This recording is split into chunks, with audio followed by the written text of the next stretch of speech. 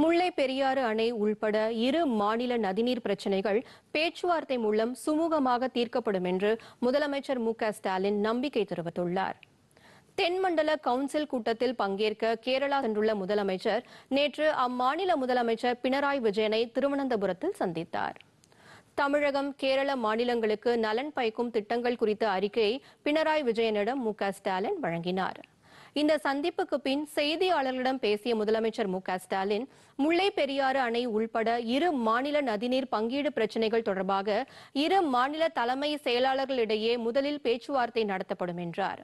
இதன் பின்னர் இரு மாநில முதலமைச்சர்கள் மட்டத்தில் பேச்சுவார்த்தை நடத்த தீர்மானிக்கப்பட்டுள்ளதாக முதலமைச்சர் மு க ஸ்டாலின் தெரிவித்தார்.